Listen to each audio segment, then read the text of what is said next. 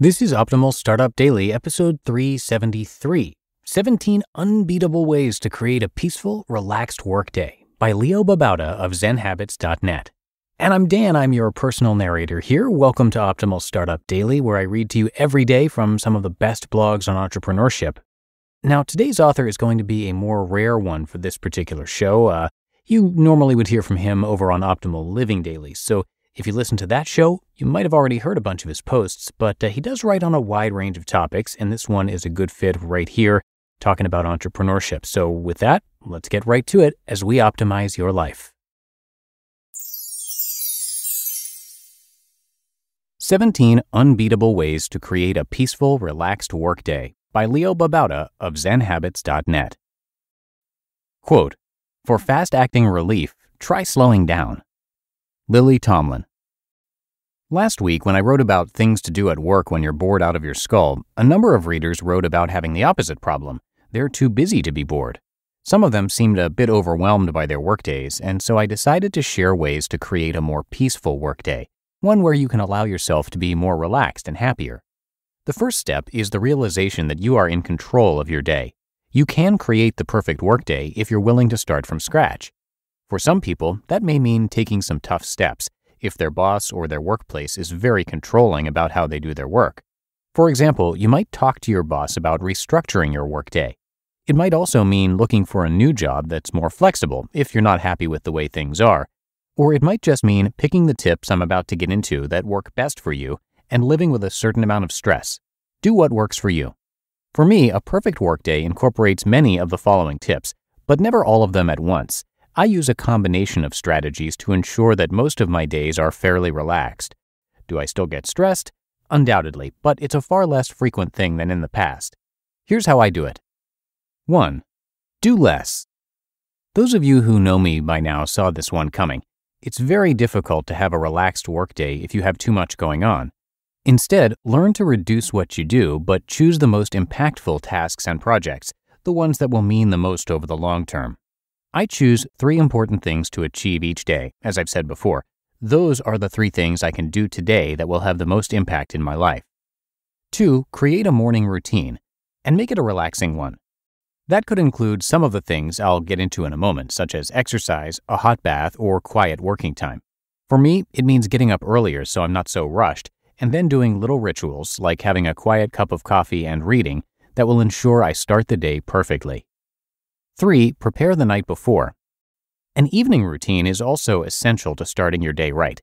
This might include things like choosing your three most important tasks for the next day so you know what you're going to do when you wake up. It might mean getting your clothes ready. For me, it includes getting a jump start on prepping my kids' lunches so it's just about done before my day even starts. 4. Start the day with a relaxing shower or bath. I personally like a hot shower, but if you have time, a good bath can be a perfect way to start off the day. It gets you in a relaxed mood, which is much better than starting the day stressed out. 5. Get in some morning exercise. I don't get to exercise every single morning, but I do it on a majority of mornings. A nice morning run is a wonderful thing for me. It relaxes me and gives me a sense of well being and accomplishment.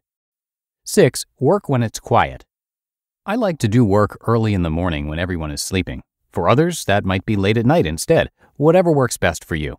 When I was working in an office, I liked to get in before everyone else so that I could get in some solid work before things got busy. I would also work during lunch when everyone else was out. I just liked the quiet.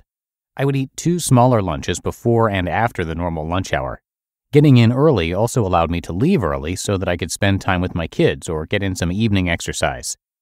7. Create a clutter free environment. This is key for me, as you might also know by now. I like my desk clear of any clutter. Right now, the only thing on my desk is my iMac. I'm paperless now.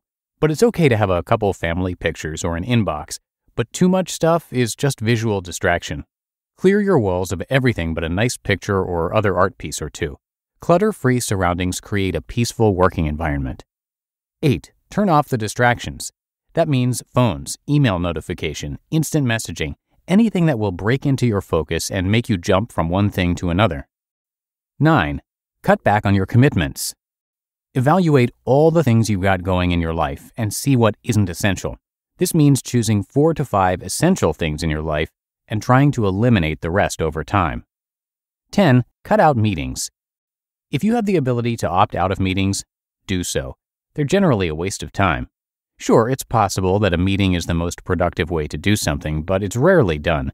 Usually, the point of a meeting could be accomplished with email or an IM. Cutting out meetings could free up a lot of time and make your workday more relaxed. 11. Single task. For me, focus is everything. Writing this article would take twice as long and be much less peaceful if I was constantly interrupted, if I was constantly switching between this and email and surfing the web and other tasks I have to do. I like to focus on one task at a time, if possible, and really lose myself in the writing. 12. Take breaks and stretch. While focusing on one task at a time is important, it's also important to take breaks when you can. Get up, stretch, get a glass of water, massage your shoulders, head, and neck. It keeps you relaxed throughout the day. 13. Go for a walk. I also like to take a break and go for a walk. It helps me to get perspective, to think, to get a better overall picture of my workday and my life. Plus, it gets the blood circulating. 14. Eat lunch in quiet. I'm kind of a shy guy, and while many people do lunch meetings, I would rather eat at my desk with a good book or take my sack lunch to a park for a peaceful, meditative eating break. 15. Do mini meditations. This doesn't require a mat or a temple or soothing tapes or anything. Just sit where you are, close your eyes, and focus on your breathing, on your breath as it comes into your body and then goes out. This helps me to center myself no matter what is going on with work. 16. Learn to focus on the present. This is related to the mini meditations and the single tasking.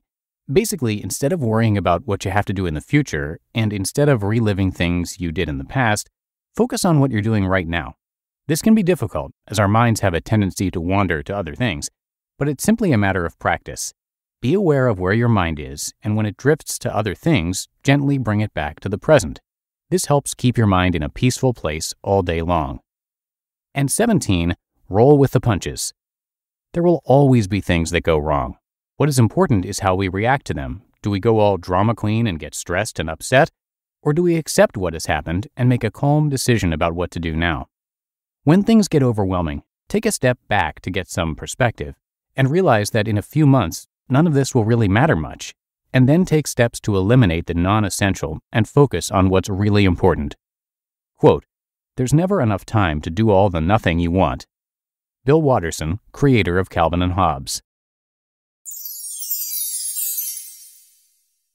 You just listened to the post titled 17 Unbeatable Ways to Create a Peaceful, Relaxed Workday by Leo Babauta of ZenHabits.net. And thank you to Shopify for their support. Shopify is more than an online store. It's a way to connect with your customers, drive sales, and manage your day to day. Scaling your business is a journey of endless possibility, and we all need help along the way.